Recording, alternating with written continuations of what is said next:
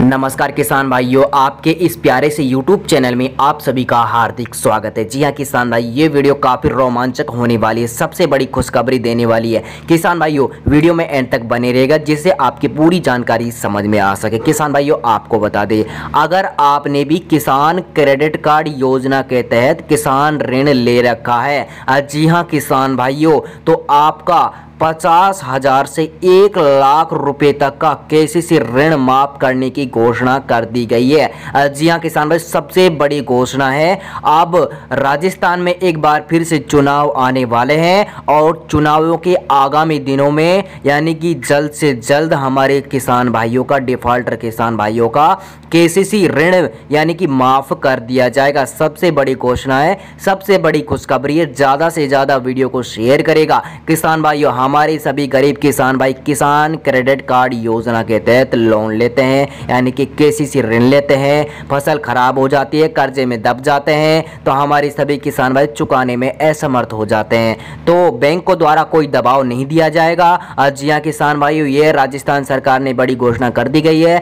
और पचास हज़ार से एक लाख रुपए की घोषणा भी जल्द से जल्द कर दी जाएगी और हमारे किसान भाइयों का केसीसी ऋण माफ़ कर दिया जाएगा। किसान भाई, सबसे बड़ी खबर निकल कर आ रही है ज़्यादा से ज़्यादा वीडियो को शेयर करेगा। वीडियो में बस इतना ही। मिलता है अगली वीडियो के साथ। तब तक के लिए जय जवान, जय किसान।